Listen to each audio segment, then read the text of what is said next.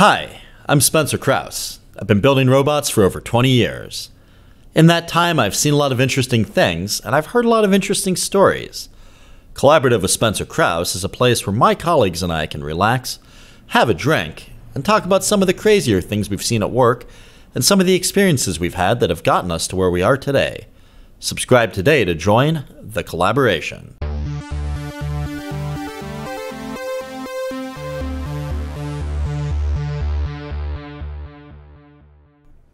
Welcome to the Collaborative Podcast. I'm your host, Spencer Krause. Our guest today is Pratheesh Prakash.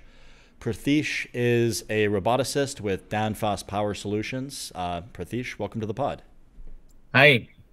Uh, so it's nice to be on the podcast. Yeah, good to have you. Yeah. So we've only been talking for a few months now, but I thought, um, you know, this is a real like-minded guy, and uh, it'd be fun to uh, to have him on. So one of the things that uh, I, I, really liked about you when we met is that you've also been building things since you were a kid and, and just yeah. love making robots. And so anyone that loves making robots and has been building things since they were a kid is a friend of mine. And uh, yeah, that's good to go. Absolutely, awesome. brother. So what are some of the, uh, I guess maybe we'll start with kind of how you got to Danfoss because you recently went from like India to Denmark. So yep that's got to be cool. Um, you mentioned, uh, you know, we came on. Like, what's what's that been like? So it's it's been a journey. So the last last few months have been uh, relocating and getting to know a new culture and all that. So it's it's a really nice journey. So I'm getting settled into the new place. The family is getting settled in, and I'm liking the place. Awesome. Awesome. Yeah, no, I mean, and uh, now that you're a you're a Dane, you can you can charge way more money for your time. So. oh yeah, but but the place is nice. The people are very nice. Uh, people are very cordial and helpful, and help you settle in very nicely. That's awesome. I've been wanting to visit Denmark for a while here. Um, it, it seems like you know you guys have an amazing robotics scene, and it's just um, it's been on my radar for so long, and I just haven't had the time to make it out yet. So I don't know. Maybe there's yeah, Copenhagen and and uh, Odense have both uh, a great robotic scene, and they're kind of the top right now in the world. So they have a high, huge density of robotics companies at the same place. Awesome. And, and a lot of that. We are, from from there, we we are actually based out of Nordborg, and we are just maybe uh, an hour out, hour hour and a half out from Odense. That's awesome. That's probably the best of both worlds, I would imagine, because I'd imagine it's way cheaper than being in Odense, but also, you know, you've got all the talent right there.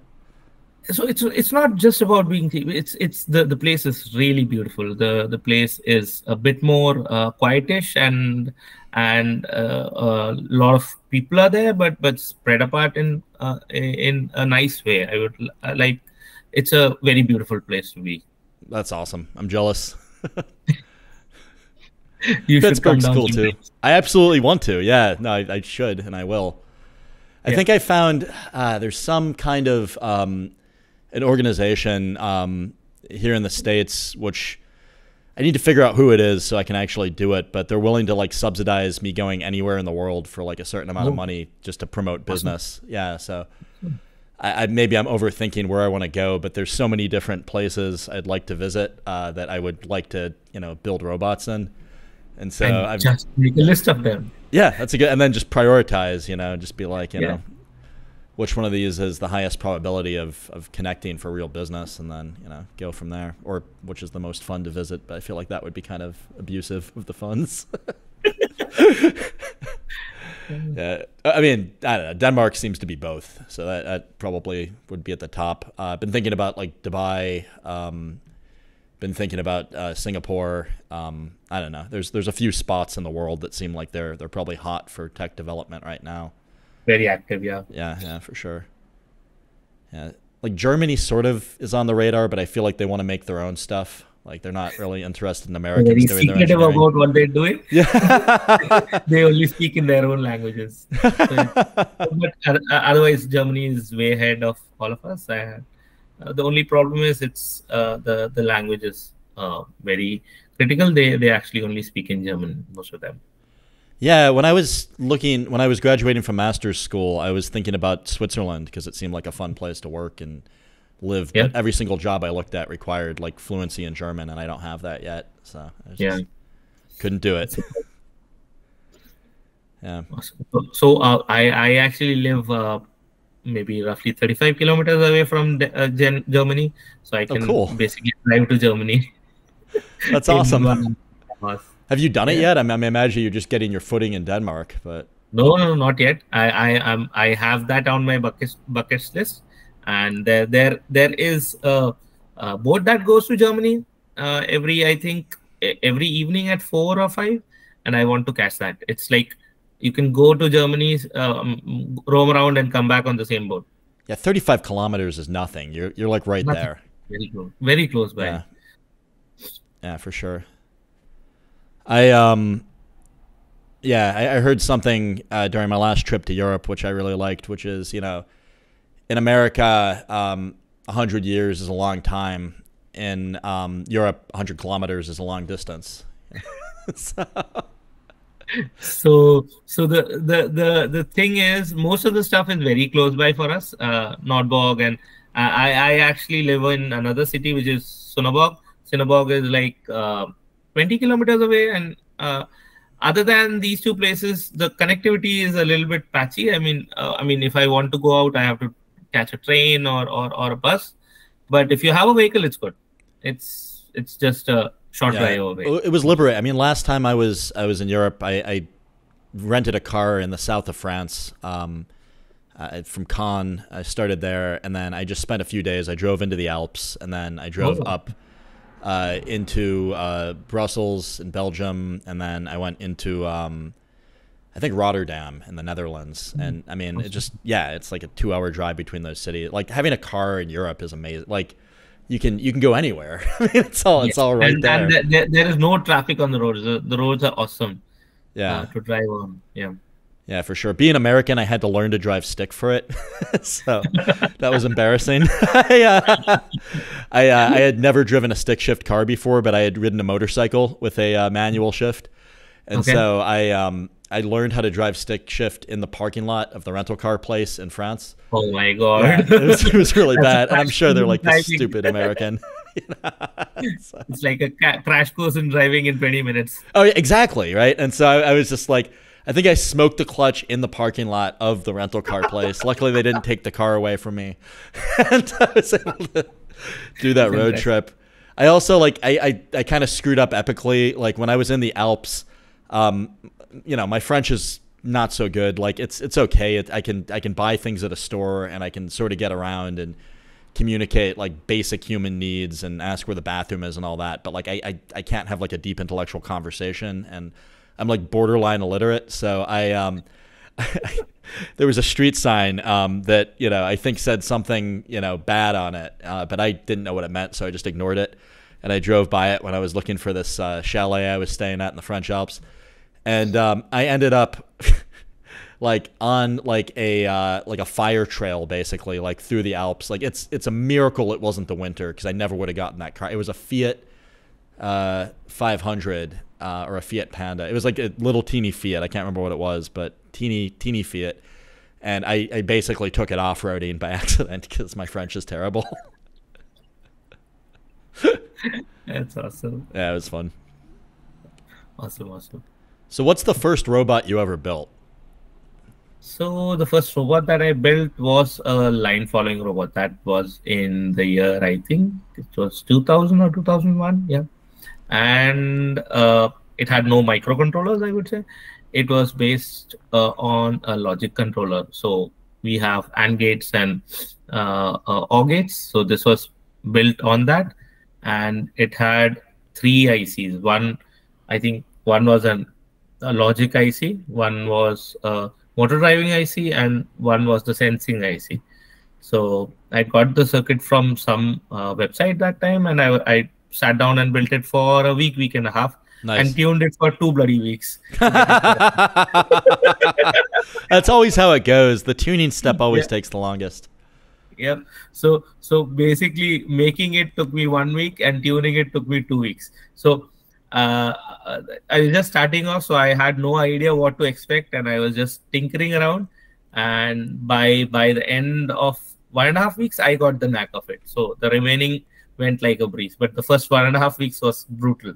I didn't know what to do. I was just tinkering around with the tuning resistors and and and trying to get stuff to work. And because it was made made uh, using an IR LED, I yeah. didn't know if it was working or not. So oh, I, I, I had no idea what was going on there. That's brutal. Yeah. So was the tuning potentiometers like was that for like the brightness of the IR LED or was that for like the sensitivity of the receiver or both? Uh, no, it was uh, the brightness of the IR LED was fixed. Uh, this these resistors were for the sensitivity of the receiver. Nice. So uh, the the IC that was doing uh, doing the uh, IR sensing was Imagine. actually a, a op amp IC. That's what I was so thinking was, in my head. Yeah, it, it, was basically an op amp IC. I, I, if I remember correctly, I've forgotten the IC number. It was something LM323 or something like that. It was very. I'm old. impressed that you even know. Like, I guess I know the LN298 because that's a like common H bridge drive yes, that we use yes. a lot. Yeah, there's a few of them, like the 555 timer. This, is this is way before I knew about the generic ICs or triple five ICs or anything. So I had worked with the triple five IC and I had worked with some transistors and all that, but I had I didn't have deep knowledge of how they worked or, or even basic idea of how the comparator worked. So I, I actually sat down and learned what a comparator did and how it worked and all that. And uh, that's why I was able to tune it without any kind of help from the outside because I, I understood how it was working. By by week one and a half, I was like thorough with what what was going on with the resistors and how it was happening and all that. So I had a multimeter at hand and I was checking the voltages at the output of the potentiometer and then checking it out on the output of the photo photodiode, and uh, that's how I got it working. So there was some some hodgepodge wiring. I was not very good at soldering that time, so the wiring was very weird. So I, I didn't know if the wiring was wrong or the circuit was wrong or, or, or, nothing was working. I was just firing in the air, and then finally it started working, and it started working pretty well. Nice. Uh, so it was so so uh, we we didn't have those. Uh, so initially, you you get gearboxes and you get wheels that connect to gearboxes nowadays, but in those days we didn't have any of those. So i had to go uh, uh, what to say uh, uh i had to find my ways uh, in the market. So i actually found a toy that used to have two motors and two gearboxes and four wheels and kind of took it apart. So i would nice. so every time i wanted to make a robot i'd just go buy that toy. It was way cheaper for me to just get the toy and all the four wheels together. Yeah. It was a cheapest toy chinese toy that had uh, it, it was a wired remote controlled uh, bucket loader. Oh, that's the best. uh, yeah, that's the best. So I would remove the bucket loader and I would remove the cabin of the bucket loader, and the it would have two sets of motors and uh, four sets of wheels. So it was a skid steer robot. So I would take the uh, uh, uh motors from there and just solder in motor drivers, and it would become a robot. That's that awesome. was how, how I started. That's really cool, and I, I love the uh, the beam methodology with the uh, the ICs being soldered together. That's also yes. how I started. So my my first one was um, it was even less smart than yours. Like it, it was just two whiskers, and it was um, a, yeah, just uh, bumping off of things. Yeah. yeah, yeah, exactly. And um, I think I used uh, two AA batteries, and then it would go in the middle of the batteries, and then it would get one and a half volts by pulling off either one. And so awesome. just the switches on the whiskers would switch the polarity going to the motor uh, on that whisker and like reverse it a little bit so it could back out and yeah bump off things. It was really fun. That, that that's how simple it was to just design a basic logic into robots. So that's that's what got us all started i would say. Yeah. i mean thinking how how how simple stuff would work and and how simple stuff would get moving with just basically one neuron firing and telling it not to go there. And, and, thinking of just adding on neurons and making it more intelligent is what got us going. So yeah, a lot of sleepless nights after that but yeah uh, it still same. drives us around. Amen brother.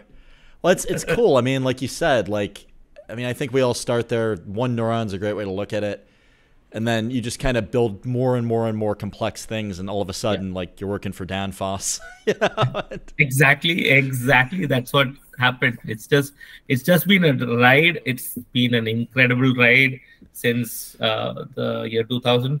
Uh, I've been building with electronics a little bit before that, maybe around five six years before that, 96, 97, or 95 or 96 or something like that.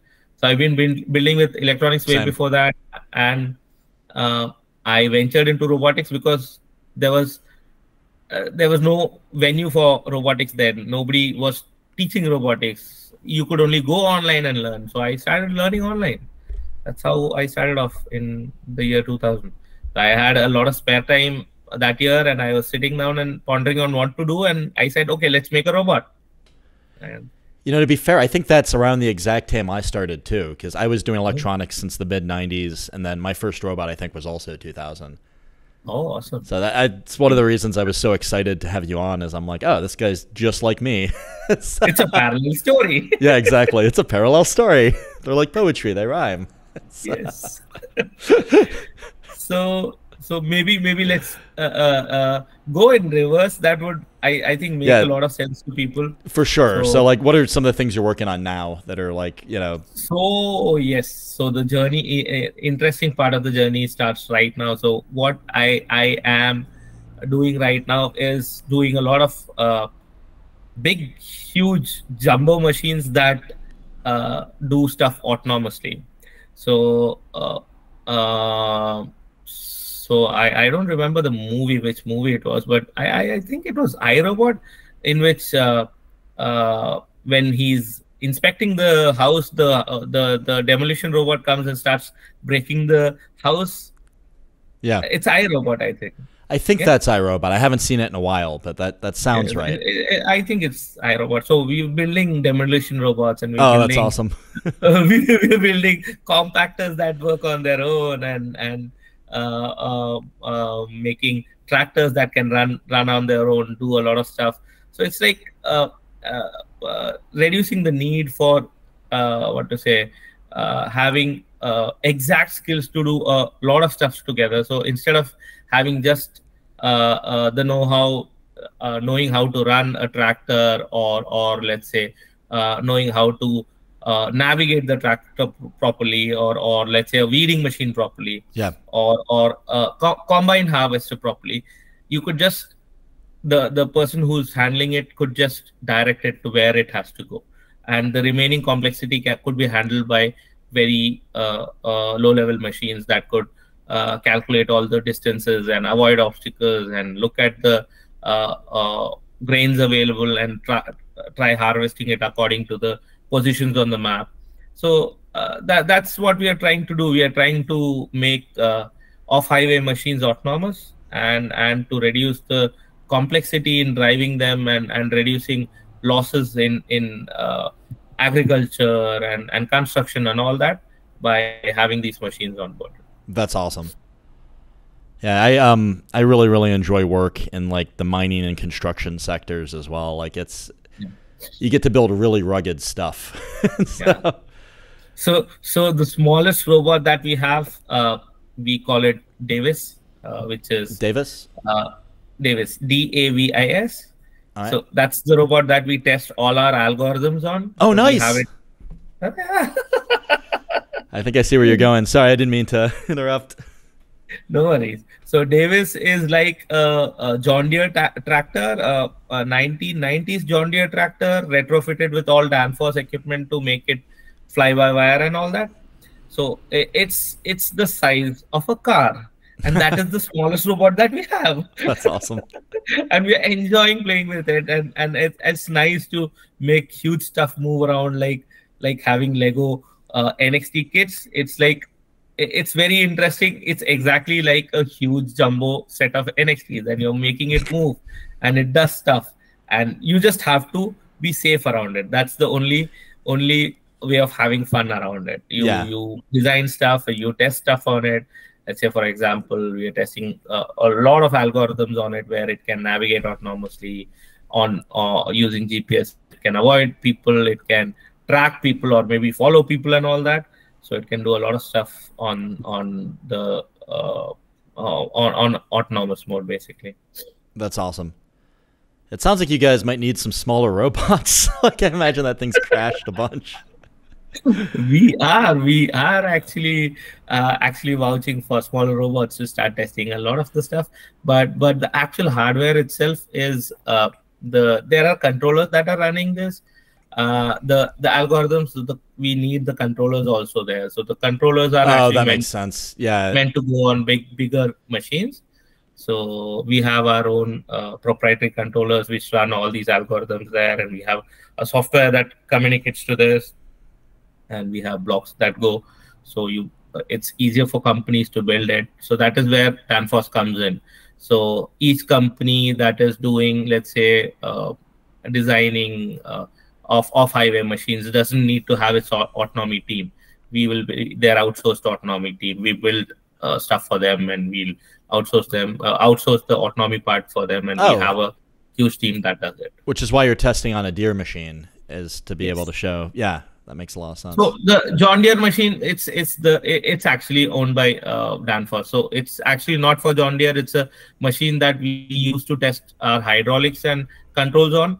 So it's a machine that is all It's it's it's kind of a demo machine, let's say. Yeah. For all the customers that are coming in, we we do our demos on Davis, and uh, uh, I think the the uh, team in the US has a soil compactor that they cool. run their demo on and uh, we also have customer machines so customer machines are basically the machines that they give and we'll be fitting our our algorithm and and our machinery and electronics and everything into it so that's how it goes that's awesome that's actually like a really good stopgap so i, I was kind of joking when i said you might need some smaller robots so when I was working at Joy Global, we would develop on um, 12th scale miniatures of like big, you know, mining vehicles, but they were they were small. Like you could you could test them indoors, you know, in a lab. Um, yeah.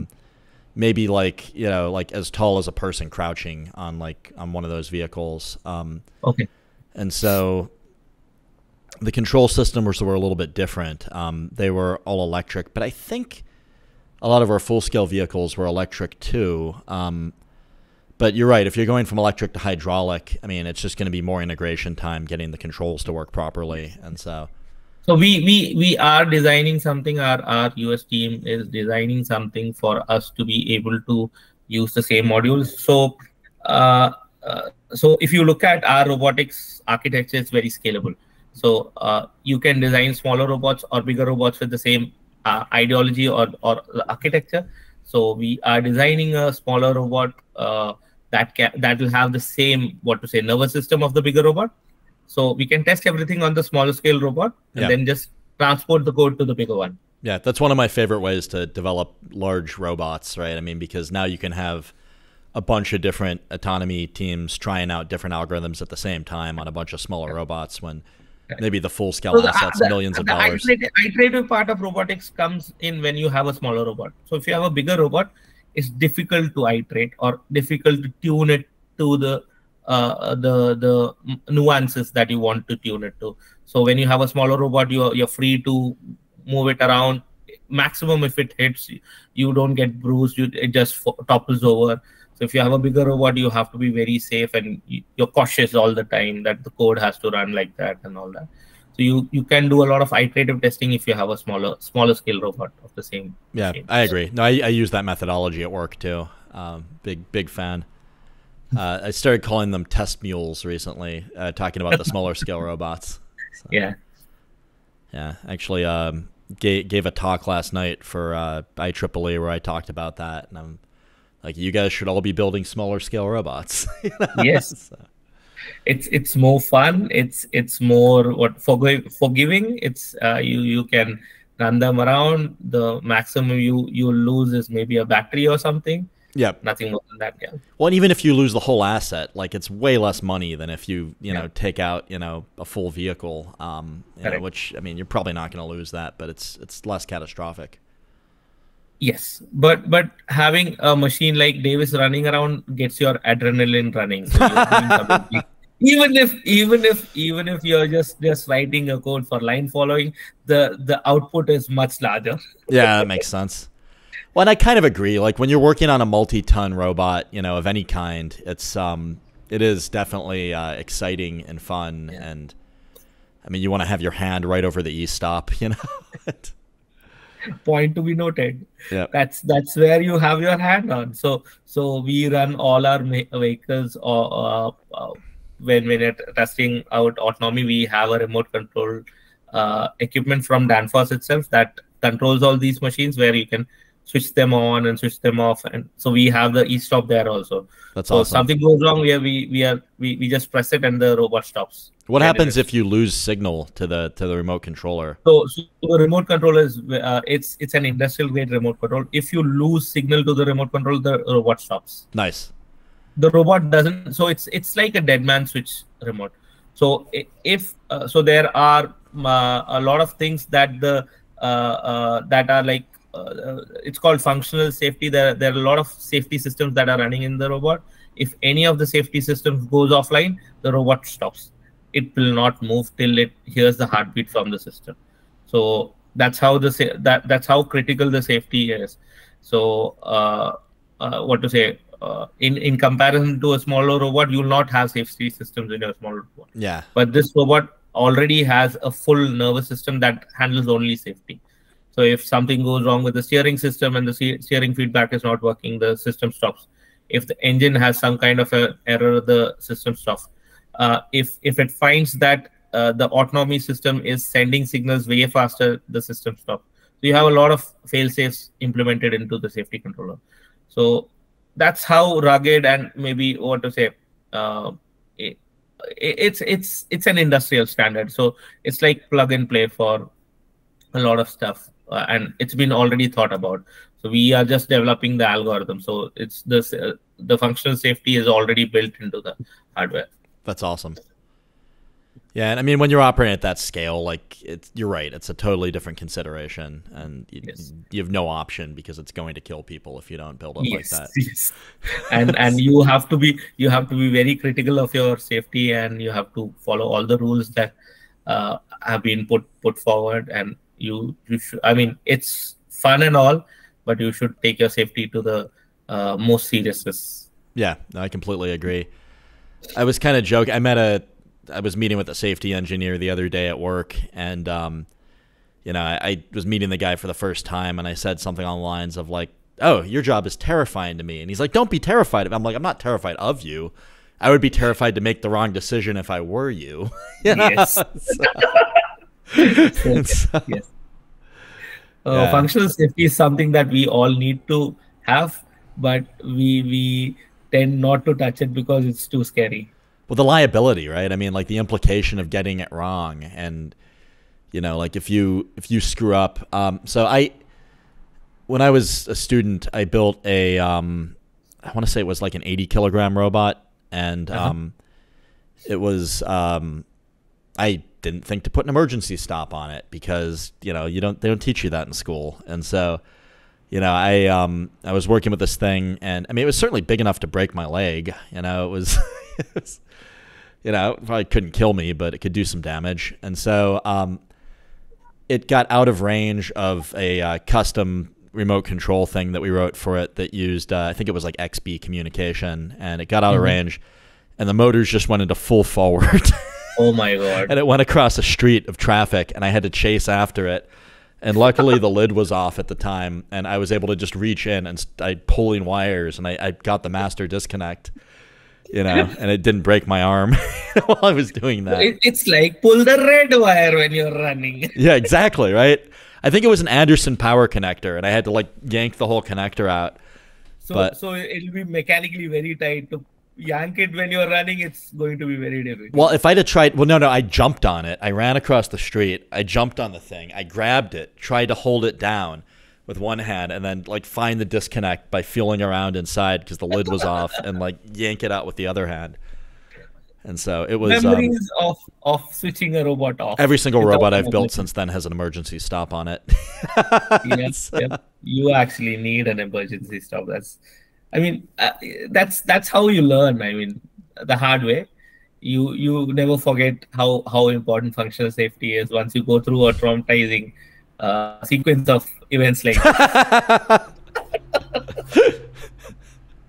Did you ever have an experience like that that kind of pounded it into your head? Oh, not just one.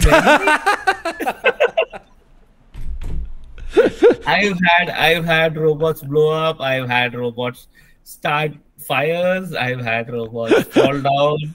I had robots that ran away because their motors were on, and so all has happened. So I mean, because they were smaller robots, I mean, they were not 80 kg robots. I was still taking it up as not a very important thing to do because these were all smaller robots. So once once I moved into bigger robots, and the same started happening, that is when I started taking corrective measures of started doing functional safety design for them and having e-stops and all that. So uh, thankfully, I didn't have to run behind an 80 kg robot, but, we had a, a, somewhat similar an 80 kg robot with which could crash crash into you, and then we designed an e-stop for it, and we had the whole system on the e-stop. But we we so our robot was not just uh, uh, what to say uh, uh, a thing that was just controlled with remotes. So it had remotes, plus it was running on autonomy. So you couldn't cut it off abruptly. So you could cut off the motors, but you couldn't cut off the brain abruptly. If you, oh, if you nice. cut off the main system, then it would crash. So we had to design around it. So the main system would keep running, but it would stop all the uh, functionality, all the motors and everything. For something like a safety controller for it, we designed something yeah. and once the e-stop went, it it would stop all those parts. Yeah, yeah. No, I, have I've kind of straddled those two decisions too. So I'm like, we have these small test robots uh, that we use for development that are like five kgs, and um, on those the emergency stop just triggers a relay that turns everything off because they're so tiny. It's just you know, it. just to make it in it less expensive. It's it's simplified.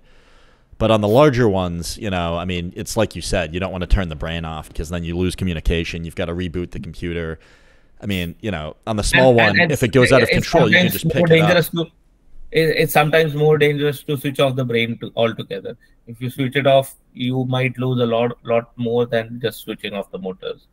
Yeah, so it's, it's much more easier to just switch off the motors or maybe control, uh, stop the power from going into the power systems uh, rather than just switching the whole robot off. Yeah, I completely agree. And like anything, anything we have that's like a real project or larger scale does that.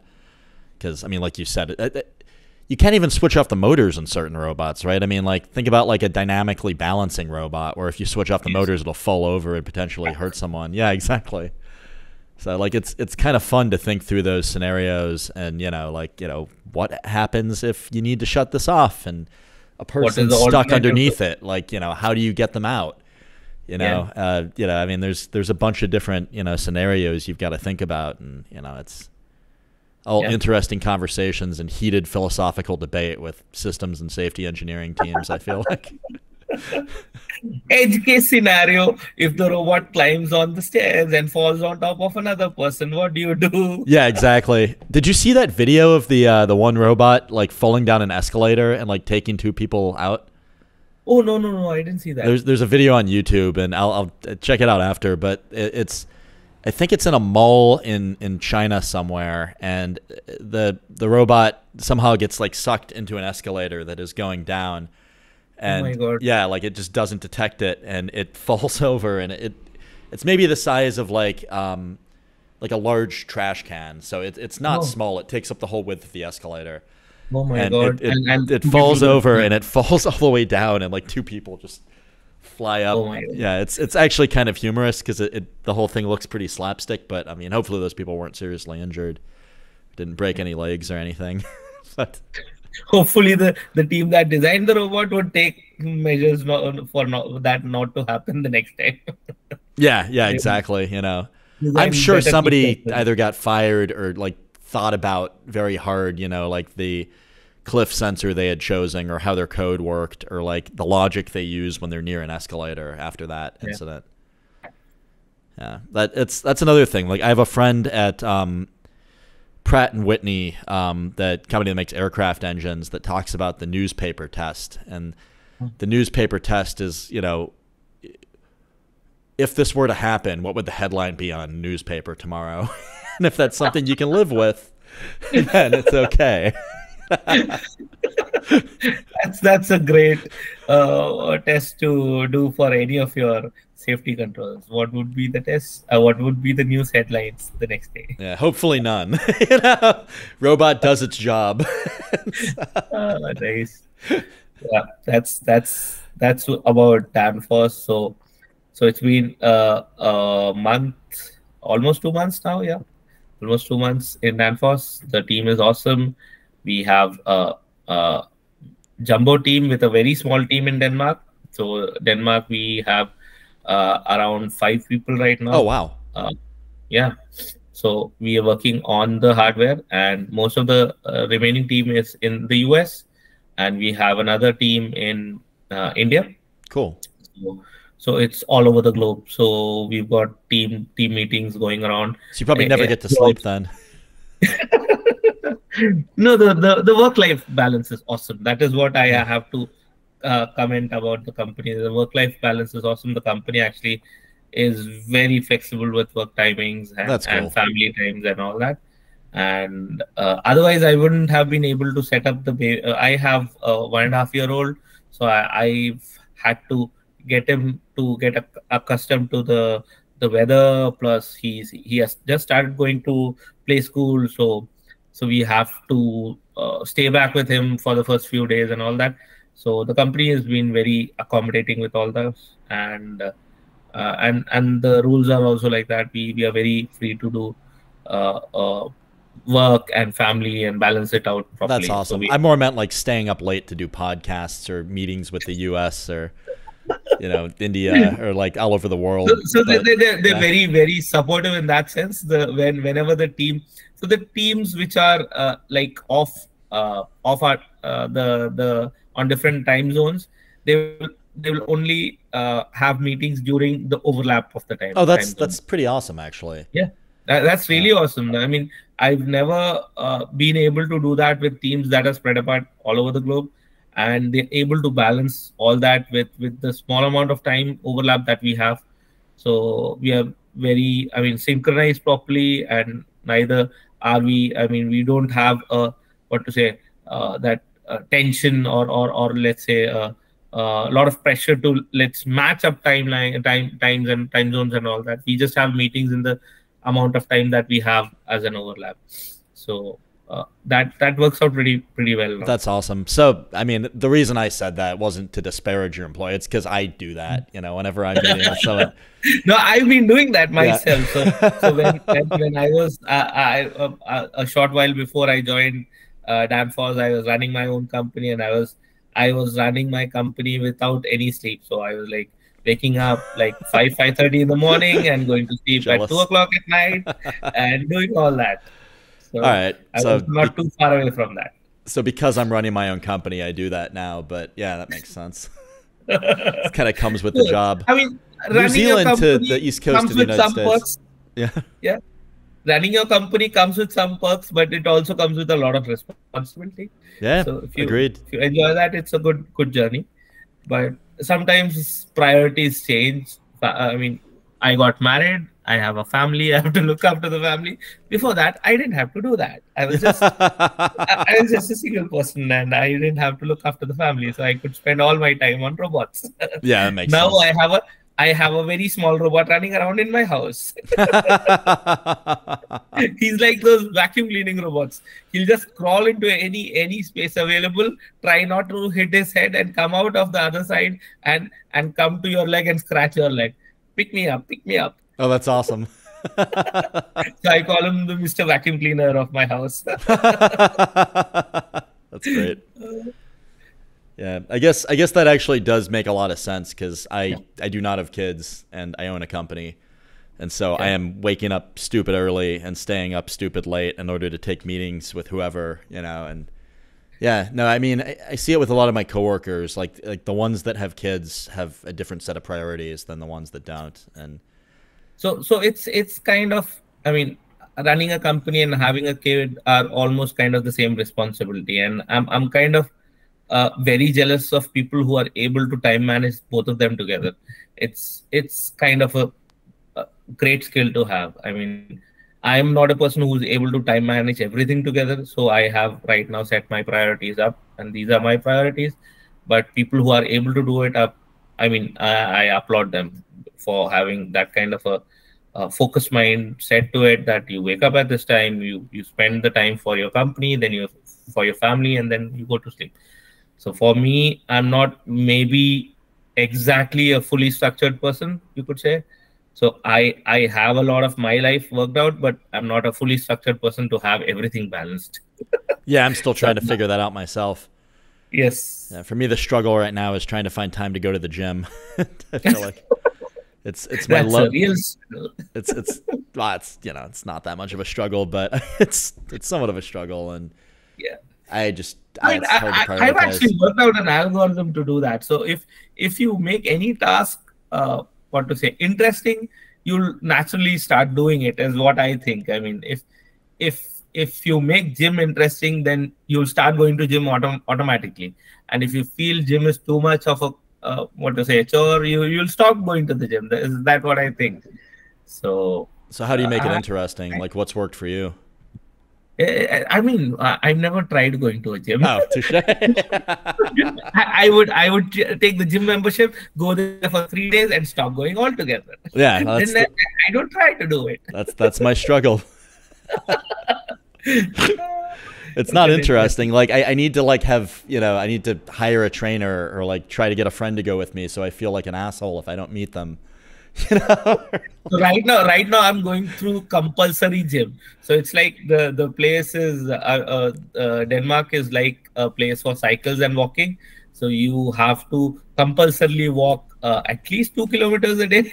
So oh. to go to the bus stop yeah or, you're fine. or, or com- coming back from home. So i'm like exercising in the naturalist possible way the easiest possible way i'm i'm compelled to do the exercise yeah because you got to get where you're going true, very true.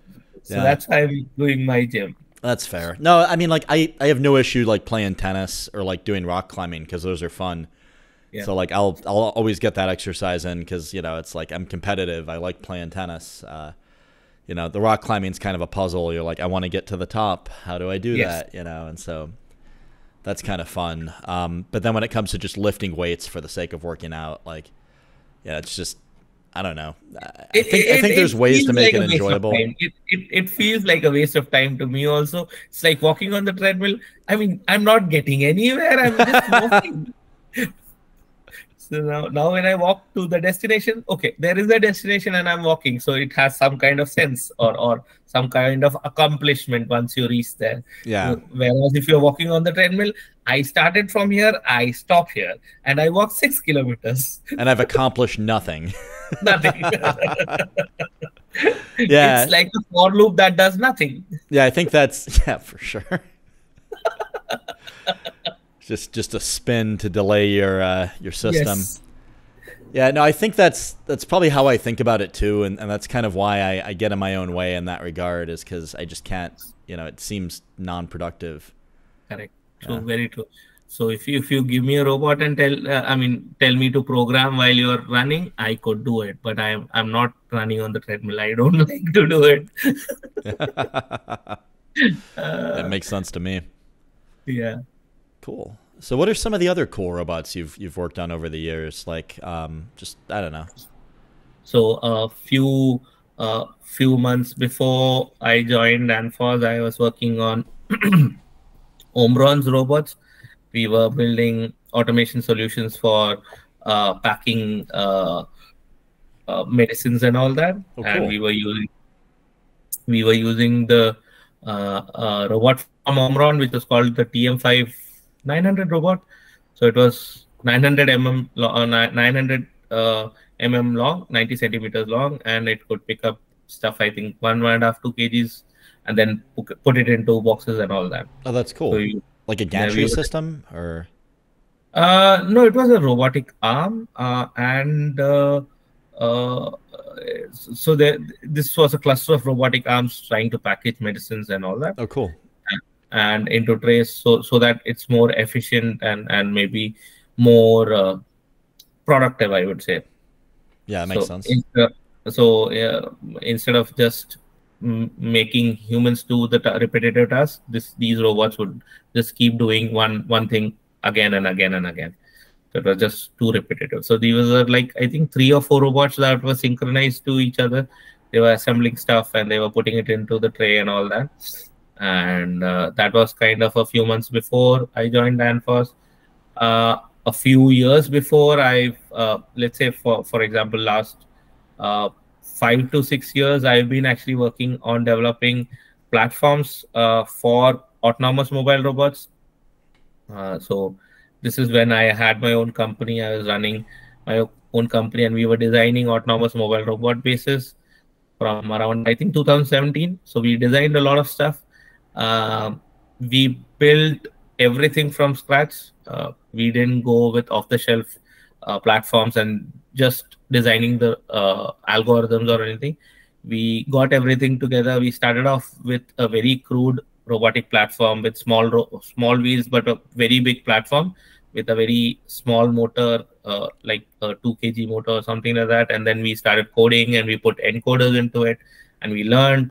And then we went back to the drawing board and put industrial motors and designed our own controller, connected a ROS uh, computer to it. Oh, cool. ROS, wrote a lot of the ROS code. I mean, uh, I mean, got all the ROS code working. I would say I didn't. We didn't build a, a lot of ROS nodes per se, but we got everything working together. We had mapping, we had uh, navigation, we had uh, uh, odometry, everything built on the robot. Most of the stuff was scratch built, and we we designed all the systems to be very safe and reliable and all that. And uh, we we built a platform that was the finally finally what came uh, from that is we designed a platform that was I think four and a half centimeters or five five centimeters tall. Oh wow! And yeah, it was it was very slim, and yep. and it was it was like a cassette, and it would go below. It could go below. Uh, uh, what to say? Uh, uh, uh, racks. It could go below racks and all that. So the oh, kind of like the Kiva platform. Exactly, something yeah. like the Kiva platform, but this this had uh, uh, uh, what to say? It, it it was not based out of uh, let's say uh, the Kiva platform has QR code stickers on which this rides. So we didn't require any kind of infrastructure. It, it had a built navigation and a mapping uh, uh, system on board. So you could just plug it into any environment, map the environment, and tell it to go to any any location in that environment without any infrastructure. You're doing that with a SLAM, then I'm guessing. Yes, we nice. were doing it with. we we had a slam node inside that and we were building the map and all that and we were doing uh, something called as i think uh, cartographer if i'm not wrong we were using the cartographer mapping uh, uh node for that and we were doing it and then uh, then slowly slowly when we had the physical platform ready we found that uh, a robot is not just the hardware or the firmware. You also need to make it productive. To make it productive you have to make it communicate to people who are not actually robotics people. You have to speak the language of the robot to the robot and you have to speak the language of the person to the person. So the person who is using it need not understand what the robot uh, how the robot is being programmed or how it communicates and all that he needs to be able to communicate to the robot in the most intuitive way so what is the most intuitive thing uh, that we've used? We've used, we've all used a touchscreen phone or a tablet. So we designed our ecosystem or, or the user interface, user experience on that tablet. And we designed it to uh, emulate very close to our maps, a Google map or, or, or uh what to say, uh, mm, Apple maps. And we would just show the map, exact map of the floor plan, and the person could just point on the map and tell tell the robot to go there which was the easiest thing to do. Then we started developing making it more intuitive because we needed to read out the battery voltages and needed to know when the robot needed to go to charge. So we made it very foolproof. So that is that that is what i did for the last six years when i was running the company that's awesome developed, uh, developed the robot developed the user interface found a way to interact with the ROS ecosystem with with the tablet and made it very uh, user friendly and reliable. That's really cool. Was that like an internal product that your company was working on, or was that something you yes. were doing for a client? Okay, nice. that was an internal product. So we had two products when uh, uh, in in the uh, mobile robotics uh, ecosystem. We had a robot that was uh, holo- holonomic. Basically, it could it, it didn't have it, it it didn't have a front or a back. It could go in any direction. Yeah. So we had a robot that was designed on a mecanum wheel platform. Nice. Yeah, those are fun. We designed uh, that, that, those are awesome when they run when they do a motion. Yeah, you could do on difficult terrain, it doesn't really work because you get those little wheellet jammed up, and yes, yeah, yes, like you can only really yes. use them in labs. Yes, and and you had to work out all those mechanical problems also before you got the remaining thing running. So if you had a differential drive robot, uh, putting a suspension on it would be the simplest thing to do. But if you have a mecanum wheeled robot, oh, interesting. Yes, it's a it's a really interesting problem to do. I've never and tried when, to put suspension put, on mecanum wheels. yes, if you put suspension on mecanum wheels, your your uh, kinematics change, your your your distances change, your your mechanics, uh, all your mechanics change. So you almost need like series elastic passive suspension or active suspension in order to make yes. that work. But that's yes. a lot of math.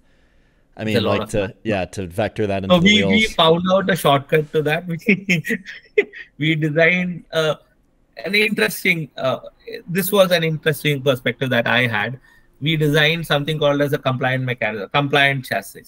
So the the chassis would actually twist and turn to to take the uh, what to say uh, unevenness of the ground. I would say the robot was very heavy, and uh, so we we had designed the robot so that it could twist a few few mm on each side.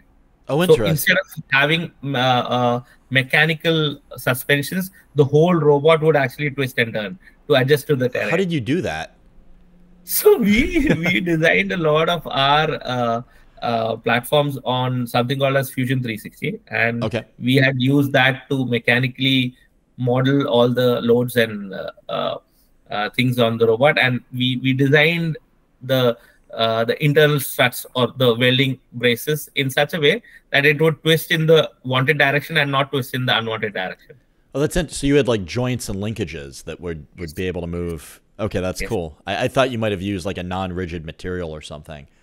No, no, yeah. no. We we used rigid material, but uh, we we designed the the thing to be, I mean, compliant enough. We it wouldn't just fold over. If you pick it up, it's a solid piece but when you have load and it's on the ground it would twist enough to just have all four wheels contacting the ground. Oh that's cool. So we had designed that and it, it worked and we were running it. And then uh, that was called uh, the the platform was called Hero, hiro it, it the the robot had a humanoid on top. So it was called a humanoid intended for robotic operation. But yeah, no, I remember seeing the video of that. That thing is awesome. Uh, that was yeah. that was a really really cool project. I thought. Yeah. And I mean the the amount of design that went into the humanoid chassis too, like that was that was super impressive to me. I didn't yeah. realize the chassis was compliant. no, the the the, cha- the, the, cha- the the chassis at the bottom was compliant. The top part was all made out of this thing, uh, fiberglass. Yeah, it looked like fiberglass. Yeah, it was fiberglass and it was polished and painted with automotive paint so that it could glow and all that. So it was really nice. The product was once you saw it in front of you, it was really professional grade uh, hard, hardware that we had designed. So that was the first product. The second one was called the Arc, the one that looked like the Kiva platform. And what was it uh, called again? Uh, it was called ARC, ARC. Got it. Uh, so it, it was called the Autonomous Robotic Carrier. Nice. So so these are all short forms that we sat down as a team and found out just before launching the product. So you just sit down and think of really nice names and come up with uh, uh, really nice short forms for them. Yeah, those those whiteboard sessions are fun. Like, yes. Did you ever end up with? I, I I feel like you must have. Like, I feel like every time I do a session like that where I'm trying to name a product or a company, like yes. you always end up with a bunch of joke ones. Like, um, yes, yeah, we did, we did, and and our team was like sitting down and just making funny names, and then yeah. we we land upon a good name. And sometimes the acronym is nice, but the full form is not nice sometimes the full form is nice but the acronym is not nice and then then we sit down and and change words around and then get a good good good acronym and name so so arc was the platform so arc was the platform that was meant to be what to say like uh, uh, plug and play for or few products together. So you could convert it into a rack carrying robot by just having nothing on top. So you could have top modules and the bottom module will be where all the batteries and the brain is. You could design whatever top, top modules you wanted according to the use case that you had.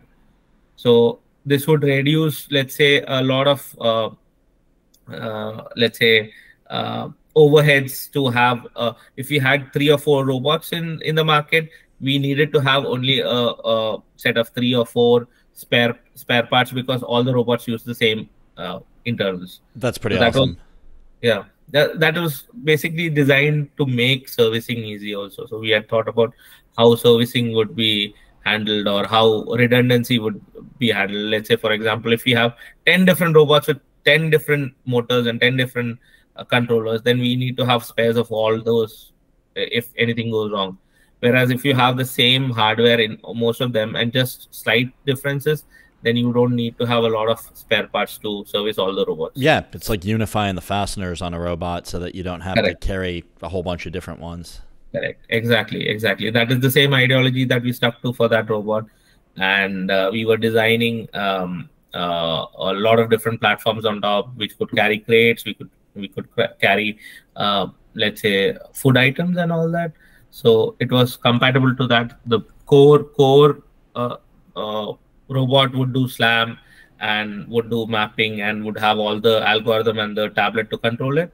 And on top of that you could build any platform. What were you uh, using for your uh, for your perception sensors for the uh, the slam? So we started off with the uh, a 2D LiDAR, which was called the RP LiDAR. I RP think LiDAR. it was the first model of the RP LiDAR, A1, I think. I think A1. I remember that. I've never integrated that into something. So oh, it's a it's a neat uh, uh, sensor. It, even though it's low cost, it's pretty robust. It is rugged, and e even with dust and everything, it actually gives you a good reading. Oh, that's cool. And it, uh, when when uh, we started off with that because it was low cost. We started off Makes sense. And we thought that we'll we'll switch to a more premium sensor when we have a product in in mind. So we we ran uh, the testing throughout the testing of let's say two years or two and a half years. Not even a single sensor broke down. So we we understood that those sensors are reliable. And even during rugged testing, meaning in in when we are testing, we would just plug it out, plug it in, and and let's say pick it out, and we will not take care of it because we're just moving it around with all that moving and shaking and all that, the sensor remained in one piece and it, it kept on giving what it was meant to do. It would just switch on properly and keep running and running and running. It was very reliable, I would say. So we, at the end also, we stuck to that product only, even though uh, we thought it might be too too cost effective, but it was it was it was not made cheaply. It was a rugged piece of equipment. That's interesting. I've I've kind of gone the other way before and had it bite me where I tried to go for an expensive sensor and like it seemed good but had poor driver support. I got burned on some IMUs that way. Um, okay. And then I've also gotten burned. I mean, as as we all have, where you start with too cheap of a sensor and then you spend all these extra hours trying to get it to run, and you know you can get it going eventually, and you might need to build some calibration jigs or whatever. But you know, it's it's. But this this was like the exact midway. It was uh, it had the right kind of support. It had all the libraries and everything that we could just get running. We never spent even an hour setting up. It was all ready to go. We just sat down and worked on all the other stuff other than the sensor. The sensor had all the files that we wanted it to run. So we never found it difficult to run anything. Uh, the only time I had an issue with the sensor is, yes, that was just a single issue all over. I think I've been working with RP LiDAR for roughly four, five years now. I think four or five years since it came out in the market. Sounds like I and, should be using those too.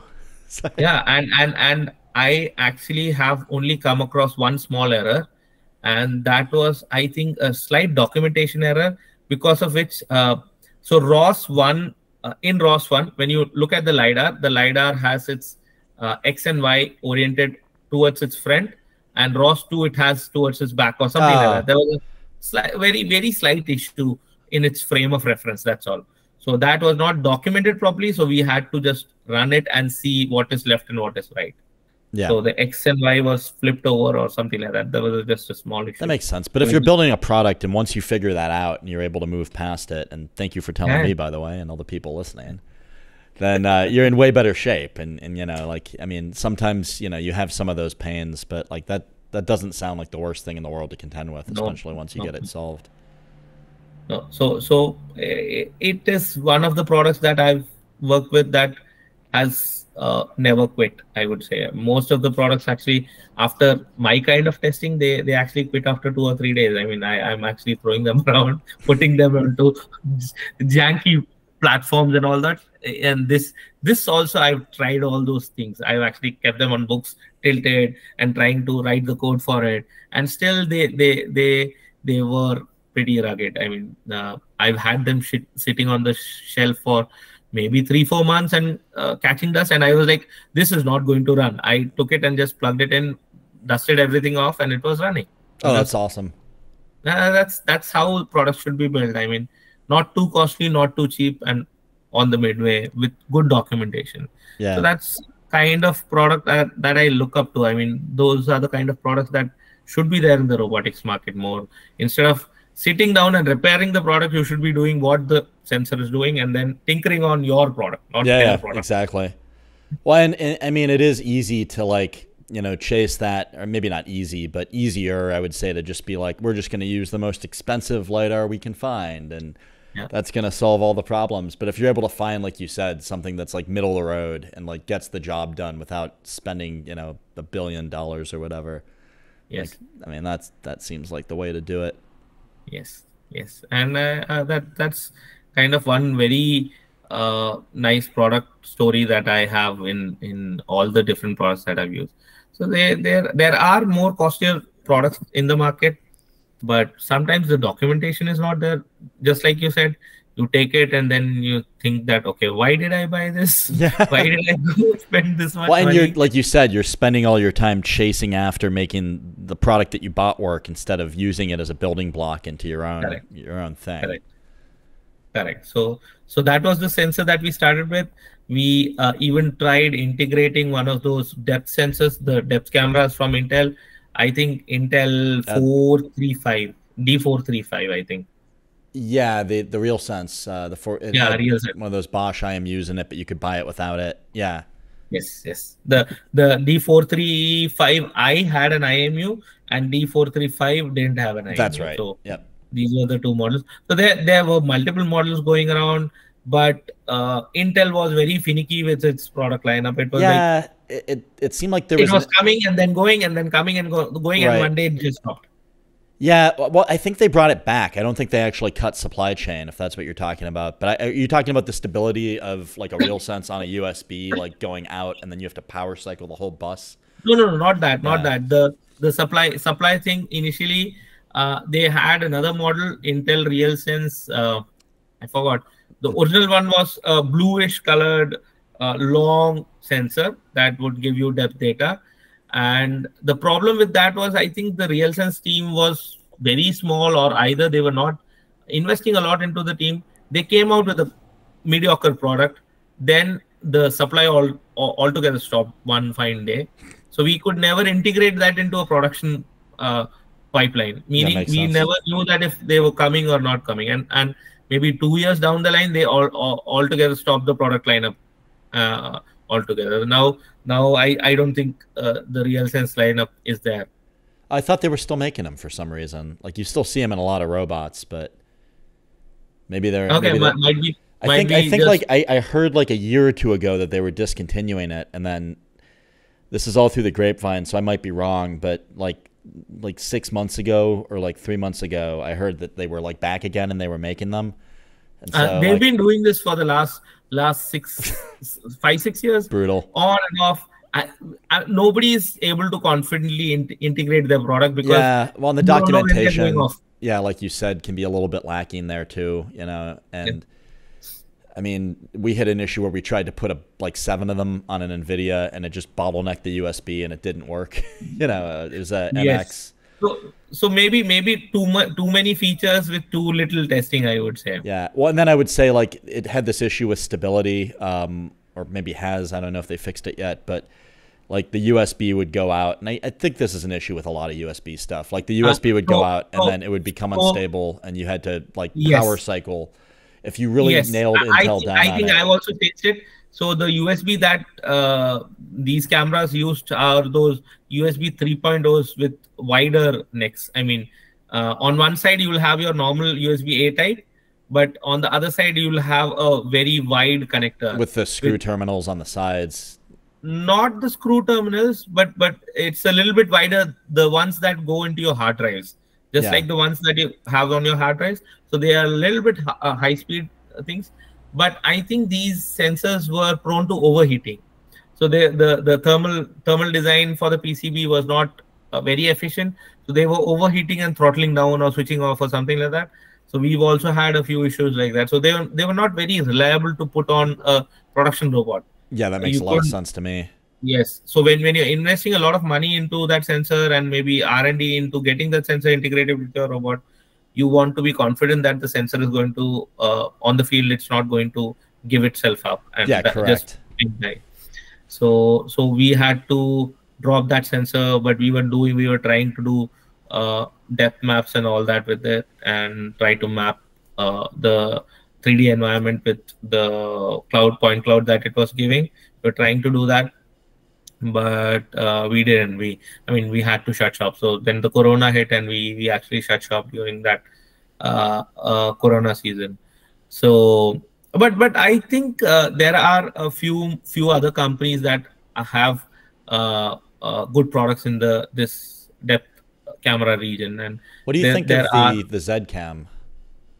Uh, I'm, I'm actually not very familiar with it. I've actually heard about it being used in drones, uh, but I, have never used them uh, in actual. Yeah, that's same. Like I haven't worked with it yet. Um, you know, um, I don't know. Might might be coming up on a project involving it, and so I'm just kind of curious. But um, I've heard good things from a lot of people. Like I've not heard a whole lot of stability issues or, or problems with it. Um, but yeah, I, uh, TBD.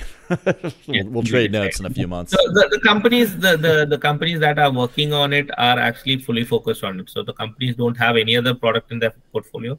They're, they're just looking at depth cameras. So they're just looking at sensors that do depth mapping and point clouds and all that. So they're very focused on the area of interest that they have. And uh, I think Z Z is one of those. Uh, companies that is also trying to make it lighter. That is why most of the drones have them. Yeah. So the other cameras are a little bit on the heavier side, I would say. So these are like a little bit lighter to carry as a payload. So you will have multiple cameras looking down and up and all that, and they'll create a map for the environment. That's awesome. What are some of the other camera companies you're interested in? So for me, I've I've been hearing good things about Framos, but I haven't had a chance to integrate one of theirs yet. Uh, okay. I think it's based on the same chip as the RealSense, but it's got a like gigabit Ethernet interface on it, which uh-huh. to me seems like a huge improvement because that USB yes. was was a major failure point on that thing. And so the communication line was a major major fa- failure point. Even even if you are doing USB, I I don't think it will be a failure point if you design it properly or or maybe uh, failure test it to see where it is going wrong and redesign those parts, overheating or whatever but but if you if you uh, look at the industrial side maybe and gigabit ethernet is much more interesting. So there is this another company that is doing uh, uh, lidars that do similar stuff which is called Ouster.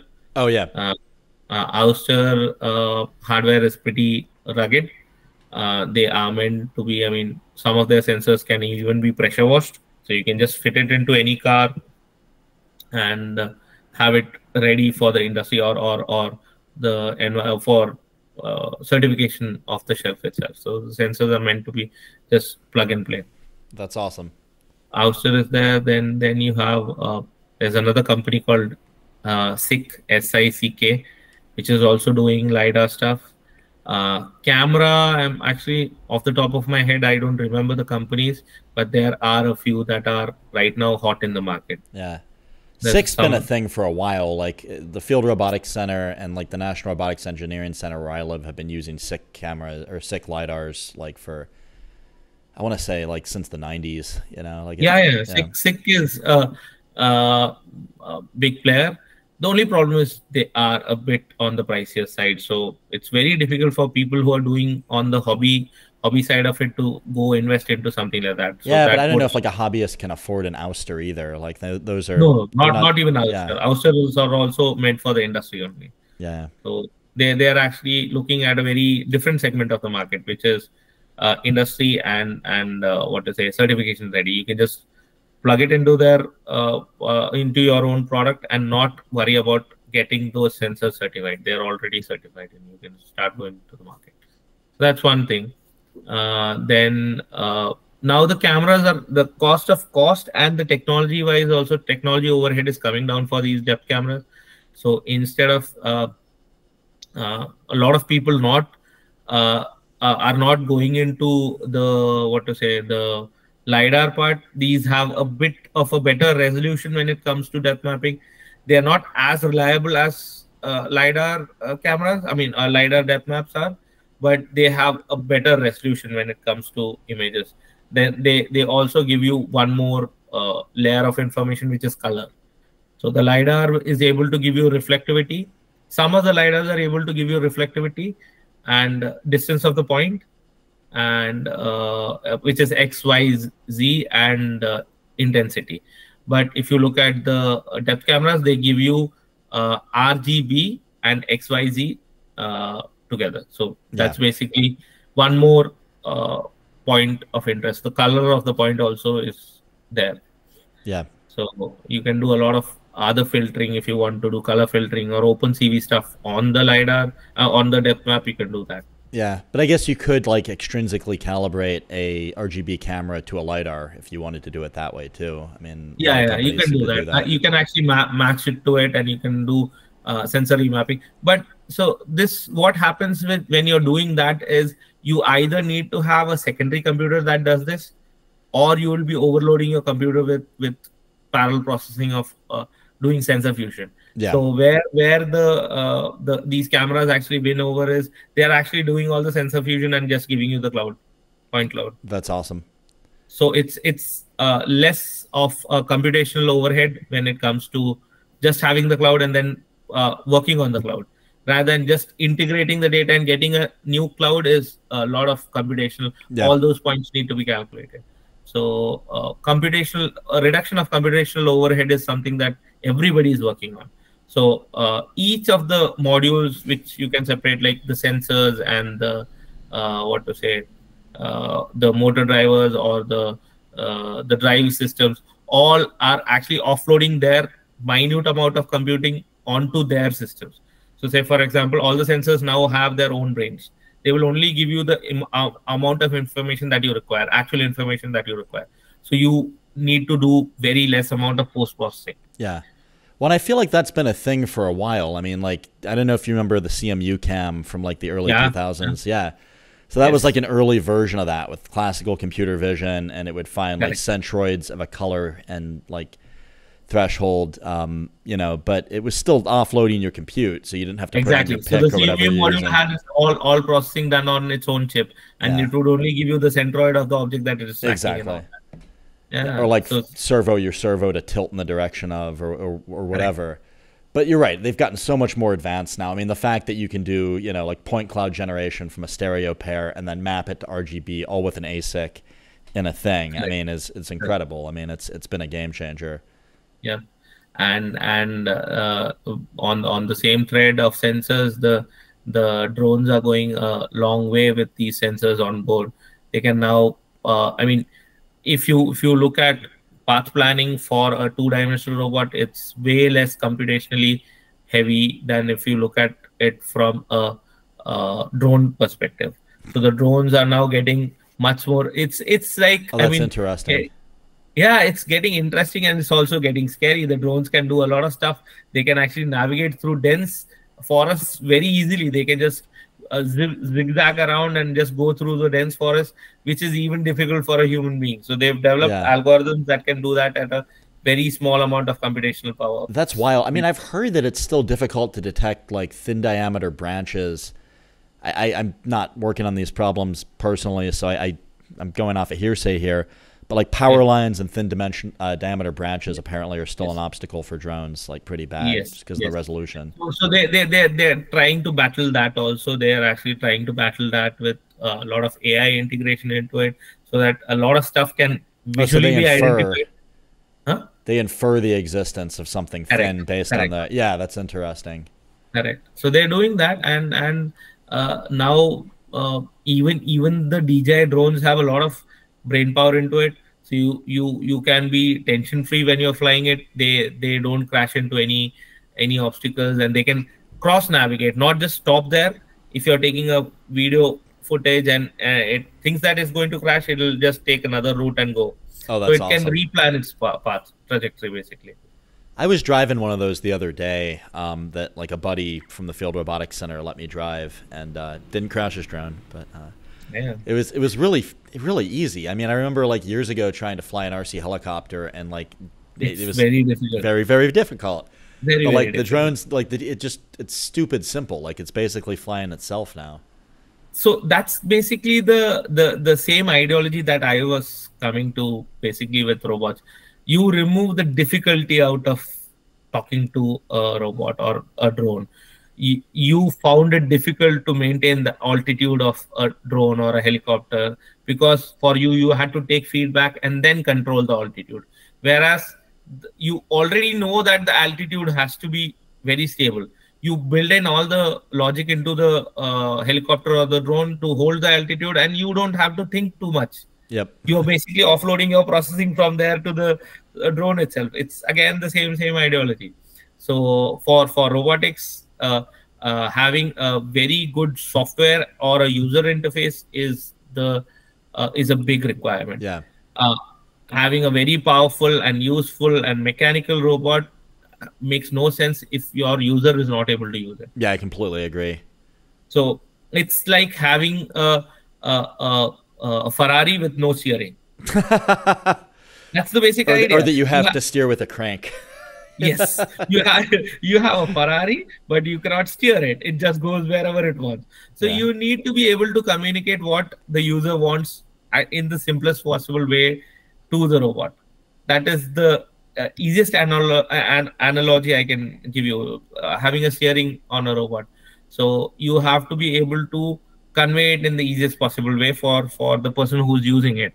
He if you if you tell him to learn a programming language or uh, tell him to understand the ecosystem is difficult. You make it as easy as possible and re- remove the difficulty out of the equation and he'll start learning on its own. So uh, you give it to an 8 year old and he should be able to drive it. That is my litmus test for any product. Yeah, yeah. so uh, so the product user user interface should be as easy as giving it to an 8 year old and him being able to do it off the top of his head. That's a very design forward way of thinking about it. Um, yeah. what where what got you to start thinking about things in that way? Um, I have my own reasons, but I'm curious to hear yours. Uh, mine is I, I I I mean when I was running my company, I I was thinking about a lot of products and why they didn't succeed, and I I mean I'm a person who takes a lot of feedback. So even if I fail, I take a feedback and and try to implement it and correct it. That's the kind of person I am. So even during product design, I was looking at why products were failing or why why even though the market had good amount of players they were not able to enter the market. So this got me into thinking the products were good the use cases were good the the the customer was not able to use it. Because the learning curve for the software or learning curve for the training module was steep. Yep. Why not make it simple enough for any person to use it? Or or let's say coming back to the same thing why not make it as easy as an 8 year old can use it without a lot of training? Maybe 10 minutes or 15 minutes of training and yeah. he should be able to use it. And make it as close to possible as what you've been using for a long time. You've been using your touchscreen phones for a huge amount of time. So you're very familiar with the ecosystem and and you're familiar with all the interactions and the gestures and all that. Why not use the same same uh, what to say platform to communicate with your robot.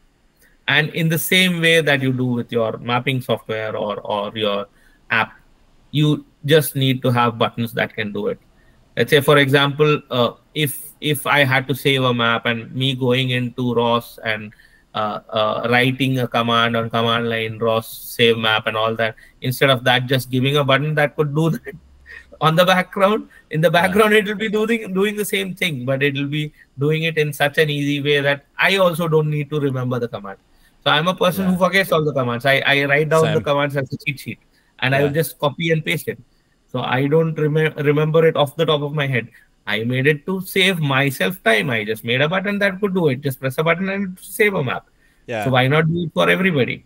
Yeah no comple- I- completely agree. I mean even like turning some robots on is like you know a task. Yeah a task like where you're like you have to you have to open four command line windows. You have to type this command into this one then this one to this one then this one to this one then this one in that order. You're like we yes. should have a batch script. This is ridiculous yes. and link that to a button. You know yes like, exactly. So it should be as easy as just pushing a button and it should boot up and all the things should be running because you know you want to run a robot on it. And uh, somebody sitting down and pressing buttons and turning knobs in a particular sequence is going to be very difficult rather than just giving him a single button to press and the whole sequence runs on its own. Yeah, kind of like the backup recorder in this podcast studio. Correct, exactly. From the beginning, that's what I've been telling you. Just take a button and put all the script into that button, and when you press that button, everything runs. I completely agree. uh, and we're working so, on implementing that. so, so uh, when when you look at things uh, even even the the uh, backup computer concept. So when you look at that thing initially getting it running would take you a lot of time. But when you're doing this on a daily basis it would initially it might take you a full day to maybe set up a bash script and and try to work out a procedure for this which is just a single button uh, start.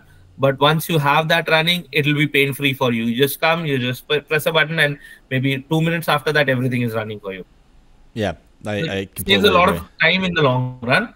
Initially, you might have to uh, uh, what to say ha- have to have a little bit more commitment and commit your one whole day into getting this run running. But finally, it will save you loads and loads of time. Yeah, yeah. No, that so, makes sense. So that's that's been the core ideology that I've been sticking to. Even if when I'm programming, even when I'm de- developing products, even when i'm doing my daily tasks it's like if i invest i mean if i'm doing this on a regular basis if i'm doing this daily or maybe every two days why not automate it? Or make a system for automating it that would make it more efficient? Or find out a procedure that would make it more systematic and finish it off yeah. is what i think about yeah. uh, i agree. I completely agree. Yeah, that's that's what motivated me to put in this uh, this Stream Deck for studio automation. so, awesome. Yep. So yeah, no, it's it's it's definitely worth doing. Um, it's uh, one of my friends kind of has this philosophy, which he's like, you know, spend an hour every day trying to figure out how to make your own job more efficient. Correct. And yeah, exactly. same philosophy here. Yeah. I got to get better at that. I, I feel like I, I, I believe it in principle, and I just don't employ it as much as I should. So, True. Yeah, awesome. Well, I, I think that's a great note to end on. Um, and uh, it's been a pleasure having you on, Pratheesh. Thank you for coming in. And same uh, here. It's been awesome talking to you. I appreciate it. awesome talking to you. Um, yeah. And for everyone listening, thanks for making it this far. Thanks for joining us today. If you made it this far, chances are you'll like other episodes too. Collaborative with Spencer Krause is available on YouTube, Spotify, Apple Podcasts, Google Podcasts, Pocket Casts, and Radio Public. Subscribe today to get notified when the latest episodes release and support the channel. Collaborative with Spencer Krause is sponsored by SKA Custom Robots and Machines. If you're in the market for robotics contract engineering services, please consider hiring SKA Custom Robots and Machines. They sponsor this podcast and they solve some of the toughest engineering challenges in the world. SKA Custom Robots and Machines can be found at ska.solutions. Thanks again and see you on the next one.